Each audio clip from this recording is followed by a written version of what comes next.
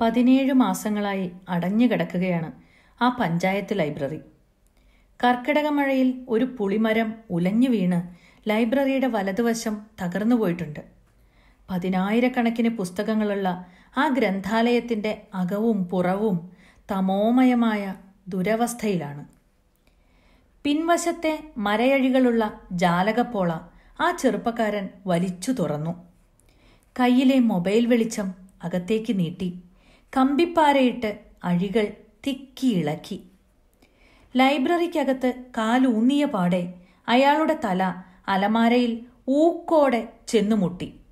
പൊടിയും മാറാലയും മുഖത്ത് കലർന്നപ്പോൾ ഉച്ചത്തിൽ പലതവണ അയാൾ തുമ്മി.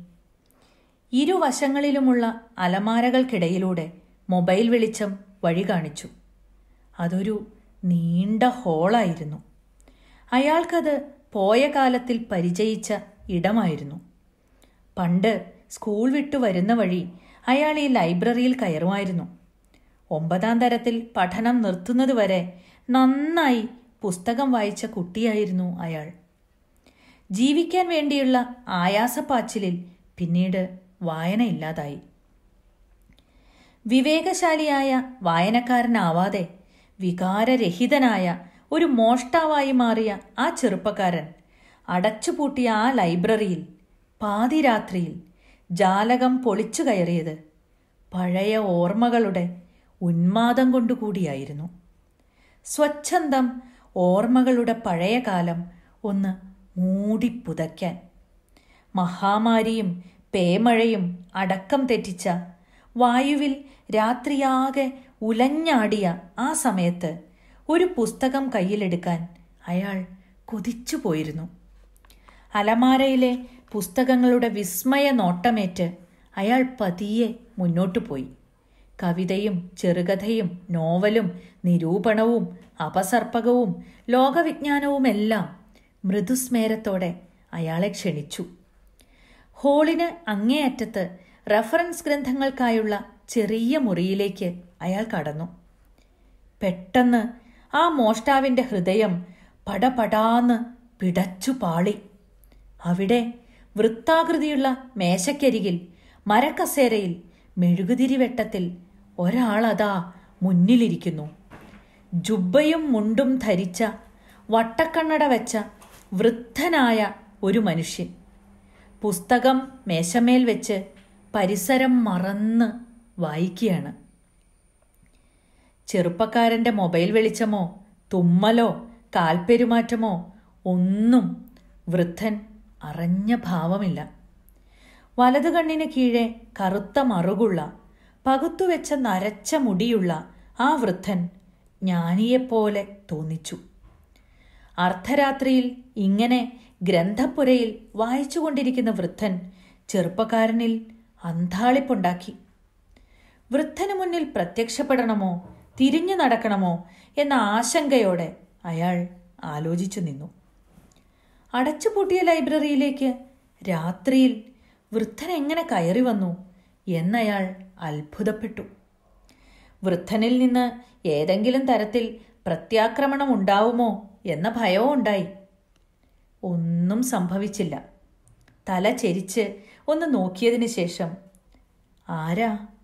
എന്ന് വൃദ്ധന്റെ സൗമ്യമായ ചോദ്യം ഉയർന്നു. വാ ഇരിക്ക് എന്ന ക്ഷണവും പിന്നാലെ വന്നു. വെറുതെ കയറിയതാ ചെറുപ്പക്കാരൻ ഇടർച്ചയോടെ പറഞ്ഞു. പുസ്തകം വായിക്കാനാണെങ്കിൽ ആ രണ്ട് അലമാരകൾ തുറന്നു വെച്ചിട്ടുണ്ട്. ഇഷ്ടമുള്ളത് എടുക്കാം. പുസ്തകമല്ലാതെ മറ്റൊന്നും ഇവിടെ ഇല്ല. ഞാൻ പുസ്തകം വായിക്കാൻ വന്നതാ. ചെറുപ്പക്കാരനെ ആകെയൊന്ന് നോക്കി വൃദ്ധൻ പറഞ്ഞു നിങ്ങളെ ഇവിടെയൊന്നും കണ്ടതായി ഓർക്കുന്നില്ല. എവിടത്തുകാരനാ? പണ്ട് ഇവിടെ ആയിരുന്നു. പണ്ട് ഈ ലൈബ്രറിയിൽ വരാറുണ്ടായിരുന്നു. പിന്നെ ആ ശീലമൊക്കെ പോയി. ഒരു ഓർമ്മയ്ക്ക് കയറിയതാ. താൻ പറഞ്ഞത് വിശ്വസിച്ചോ എന്ന് ചെറുപ്പക്കാരൻ സംശയിച്ചു. ഒരു ഭാവമാറ്റവുമില്ലാതെ വൃദ്ധൻ പറഞ്ഞു കഥകളുടെ അലമാരയാ. പോയെടുത്തോ. വൃദ്ധൻ ചൂണ്ടിക്കാണിച്ച അലമാരയ്ക്ക് മുന്നിൽ മൊബൈൽ വെളിച്ചവുമായി നിന്നപ്പോൾ പഴയ കാല ഓർമ്മകൾ ഞൊടിയിടയിൽ ചെറുപ്പക്കാരനോട് കഥ പറയാൻ വന്നു. അടുക്കി വെച്ച പുസ്തകങ്ങളുടെ പേരുകൾ ഓരോന്നായി വായിച്ചും എടുത്തും തിരികെ വെച്ചും കുറച്ചു നേരം ചെറുപ്പക്കാരൻ ആ ഓർമ്മകൾക്ക് അധീനനായി. വൃദ്ധൻ വായനയിലേക്ക് മടങ്ങിയിരുന്നു. അനുഗ്രഹീതമായ ഒരു പ്രശാന്തത അവിടെ നിറഞ്ഞു നിന്നു.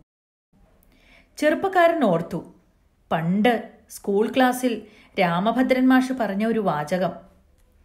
പുസ്തകം വായിച്ച ഒരാളോട് മിണ്ടുന്നത് പുസ്തകം വായിക്കുന്നതിന് തുല്യമാണ്. വൃദ്ധന് സമീപം ചെന്ന് ചെറുപ്പക്കാരൻ ചോദിച്ചു സാർ ഇവിടുത്തെ ലൈബ്രറിയിലാണോ അല്ല ഒന്ന് നിർത്തി വൃദ്ധൻ പറഞ്ഞു. ഞാനാണ്. ഞാനാണ് ഈ ലൈബ്രറി സ്ഥാപിച്ചത്. ഇപ്പോൾ ഇതിങ്ങനെ നശിക്കുന്നത് കണ്ടിട്ട് മനസ്സൊരുകി വന്നതാ. എന്നെക്കൊണ്ട് കൂട്ടിയ കൂടുമെന്ന് തോന്നില്ല പ്രളയോ രോഗമൊക്കെ ഇത് ഇതിങ്ങനെയാക്കി തീർത്തു. ഇനി എന്താണ് ചോദിക്കേണ്ടത് പറയേണ്ടത് എന്നറിയാതെ ചെറുപ്പക്കാരൻ നിശബ്ദം നിന്നപ്പോൾ വൃദ്ധൻ ചോദിച്ചു. നിങ്ങൾക്കെന്താ ജോലി? പ്രത്യേകിച്ചൊന്നുമില്ല. വൃദ്ധന് മുന്നിൽ സത്യം മറച്ചുവെക്കുന്നതുകൊണ്ട് പ്രയോജനമില്ലെന്നറിഞ്ഞ് ചെറുപ്പക്കാരൻ തുറന്നു പറഞ്ഞു. സാറിനൊന്നും തോന്നരുത്. മോഷ്ടിച്ചാ ഞാൻ കഴിയുന്നേ. പക്ഷേ ഇവിടെ ഇവിടെ അതിന് വന്നതല്ല വൃദ്ധൻ ഒരു ചെറു ചിരിയുടെ അനക്കം പോലും ഇല്ലാതെ നിസ്സംഗനായി പറഞ്ഞു. ഞാൻ മനസ്സിലാക്കി. പുസ്തകം മാത്രമുള്ളിടത്ത് മോഷ്ടാവിന് കയറേണ്ട കാര്യമില്ലല്ലോ. പുസ്തകത്തെ സ്നേഹിക്കുന്ന ഒരാൾ എന്ന നിലയിൽ നിങ്ങൾക്ക് ഒരു കുഴപ്പവും ഞാൻ കാണുന്നില്ല. ചെറുപ്പക്കാരന്റെ മനസ്സിൽ ഒരു നക്ഷത്ര വെളിച്ചം മിന്നി വീണ അനുഭൂതിയുണ്ടായി ആരെയെങ്കിലും കൊന്നിട്ടുണ്ടോ? വൃദ്ധൻ ചോദിച്ചു. ഇല്ല. അടിച്ചു പരിക്കേൽപ്പിച്ചിട്ടുണ്ടോ? ഇല്ല. സ്ത്രീകളെ ഉപദ്രവിച്ചിട്ടുണ്ടോ? ഇല്ല. എവിടെയാണ് മോഷ്ടിക്കാൻ കയറാറുള്ളത്? വീടുകളിലും കടകളിലും. ഇക്കാലത്തും. ഇല്ല ഇപ്പം അത് സാധിക്കില്ല. ഒഴിഞ്ഞ വീടുകളില്ല. എല്ലായിടത്തും ആളുകളാ പോലീസും. അപ്പോ ജീവിതം എങ്ങനെ കഴിയുന്നു? തട്ടിമുട്ടി പോന്നു ചെറുപ്പക്കാരന്റെ മനസ്സിൽ ഒരു ചോദ്യമെത്തി. സാർ എത്ര പുസ്തകം വായിച്ചു കാണും? വൃദ്ധൻ ചിരിച്ചു. കൃത്യമായി പറയാനാവില്ല. ഓർമ്മ വെച്ച നാൾ തൊട്ട് എല്ലാ ദിവസവും പുസ്തകം വായിച്ചിട്ടുണ്ട്. വായിക്കാത്ത ഒരു ദിവസം പോലും ഉണ്ടായിട്ടില്ല. ചെറുപ്പക്കാരന് ചുമ വന്നു. നെഞ്ചുളുക്കി അയാൾ ചുമച്ച് കണ്ണു തള്ളി. ഇരു കൈകളും നെഞ്ചോട് ചേർത്ത് അയാൾ ഉച്ചത്തിൽ ചുമച്ചുകൊണ്ടിരുന്നപ്പോൾ വൃദ്ധൻ എഴുന്നേറ്റ് വന്ന് പുറത്ത് തലോടി. പൊടിയുടെ അലർജിയാ സാരമില്ല. കുഴഞ്ഞ നിലത്തിരുന്ന ചെറുപ്പക്കാരൻ വിറയലോടെ പറഞ്ഞു സർ ഞാൻ മരിക്കുവാന്ന് തോന്നുന്നു. ചെറുപ്പക്കാരന്റെ ശിരസിൽ തലോടി വൃദ്ധൻ പറഞ്ഞു ഒന്നും സംഭവിക്കില്ല പേടിക്കണ്ട. ചുമരിനോട് ചേർത്തിട്ട ബെഞ്ചിലെ കൂജയിൽ നിന്ന് സ്റ്റീൽ ഗ്ലാസിൽ വെള്ളമെടുത്ത് വൃദ്ധൻ ചെറുപ്പക്കാരനെ കുടിപ്പിച്ചു. ചുമ നിന്നപ്പോൾ വെറും തറയിൽ അയാൾ കമിഴ്ന്നു കിടന്ന് ഉറങ്ങിപ്പോയി. നെടുനാളത്തെ തളർച്ച മറന്ന് ഉറങ്ങുന്ന ആ മോഷ്ടാവിനെ വൃദ്ധൻ കുറേ നേരം അനുതാപത്തോടെ നോക്കി നിന്നു. ചെറുപ്പക്കാരൻ ഉണർന്നപ്പോൾ സൂര്യോദയമായിരുന്നു. ലൈബ്രറിക്കകത്തേക്ക് വെളിച്ചം വന്നില്ല. കഴിഞ്ഞ രാത്രി അയാൾക്കൊരു സ്വപ്നം പോലെ തോന്നി. വൃദ്ധനെ കണ്ടില്ല. കസേരയും മേശയും അതേപോലെയുണ്ട്. കൂജയും ഗ്ലാസ്സും ഉണ്ട്. വൃദ്ധൻ വായിച്ച പുസ്തകം കാണാനില്ല. തലേന്ന് തുറന്നു വെച്ച രണ്ട് അലമാരകളും അടഞ്ഞു കിടപ്പുണ്ട്. ഹോളിലും റഫറൻസ് മുറിയിലുമെല്ലാം ചെറുപ്പക്കാരൻ വൃദ്ധനെ തെരഞ്ഞു നടന്നു. പൂട്ടില്ലാത്ത ഒരു അലമാര തുറന്നപ്പോൾ ആദ്യം കണ്ട പുസ്തകം അയാൾക്ക് കൗതുകമുണ്ടാക്കി. കഥയും ജീവിതവും. അതുമായി അയാൾ പൊളിഞ്ഞ ജാലകത്തിലൂടെ പുറത്തേക്ക് ഊർന്നിറങ്ങി. മണ്ണിൽ കിടന്ന കമ്പിപ്പാര തൊട്ടടുത്ത കുറ്റിക്കാട്ടിലേക്ക് വലിച്ചെറിഞ്ഞ് മുഖാവരണമിട്ട മനുഷ്യർക്കിടയിലൂടെ ശിരസ് കുനിച്ച് അയാൾ നടന്നുപോയി. അന്ന് രാത്രി ആ ചെറുപ്പക്കാരൻ വീണ്ടും ലൈബ്രറിയിൽ വന്നു. അപ്പോഴും അയാൾ ഹോളിന്റെ അങ്ങേയറ്റത്ത് ചെറിയ മുറിയിൽ വെളിച്ചം കണ്ടു. കസേരയിൽ വായിച്ചിരിക്കുന്ന മനുഷ്യനെയും. അതേ ആൾ തന്നെ. ജ്ഞാനിയായ വൃദ്ധരൂപം. അടുത്തെത്തിയ ചെറുപ്പക്കാരനോട് വൃദ്ധൻ പറഞ്ഞു ഞാൻ നിങ്ങളെ പ്രതീക്ഷിച്ചു. ഞാനൊരു പുസ്തകം എടുത്തിരുന്നു. വായിച്ച് തിരികെ കൊണ്ടുവന്നതാ. കഥയും ജീവിതവും അല്ലേ? ആ ജീവിതം ഹ്രസ്വമാണ്.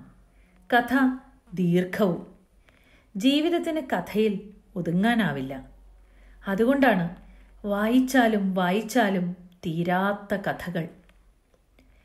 ചെറുപ്പക്കാരൻ വൃദ്ധന്റെ പ്രകാശിക്കുന്ന മുഖത്തേക്ക് തന്നെ നോക്കി നിന്നു. ഇനി പഴയ ജോലി ചെയ്യുന്നുണ്ടോ? വൃദ്ധൻ ചോദിച്ചു. ഇല്ല. ഞാനത് അവസാനിപ്പിച്ചു. എന്താ ജീവിതമാർഗം ഇനി? ഒന്നും തീരുമാനിച്ചിട്ടില്ല. ഒളിവുകാലമാണ്. മനുഷ്യരൊക്കെ വീടുകളിൽ തടവുകാരെ പോലെ പൊറുതി കെട്ട് കഴിയുകയാണ്. അവർക്ക് പുസ്തകങ്ങൾ കൊണ്ടു കൊടുക്കാൻ കഴിയുമോ ഓരോ വീട്ടിലും ഏഴ് പുസ്തകങ്ങൾ വീതം കൊടുക്കണം. അടുത്ത ആഴ്ച ചെന്ന് മടക്കി വാങ്ങി വീണ്ടും ഏഴ് പുസ്തകങ്ങൾ. നിങ്ങൾക്കത് ജീവിത വഴിയുമാകും. കഴിയുമോ? നോക്കാം സർ. എങ്കിൽ നാളെ പ്രഭാതത്തിൽ തുടങ്ങിക്കോളൂ. നാളത്തെ ദിവസത്തിന് ഒരു പ്രത്യേകതയുണ്ട്. വായന ദിനമാണ്. പുറത്ത് എന്റെ പഴയ സൈക്കിൾ കാണാം. ക്യാരിയർ ഉള്ളതാണ്. ഇഷ്ടമുള്ള പുസ്തകങ്ങളുമായി വീടുകളിലേക്ക് സഞ്ചരിക്കൂ. നല്ലത് വരട്ടെ. വി ആർ സുധീഷിന്റെ കഥ. ഒളിവുകാലം. ഇത് എനിക്കേറെ പ്രിയപ്പെട്ട ഒരിടം. വി എൻ കേശവപിള്ള സ്മാരക വായനശാല വളയഞ്ചിറങ്ങര.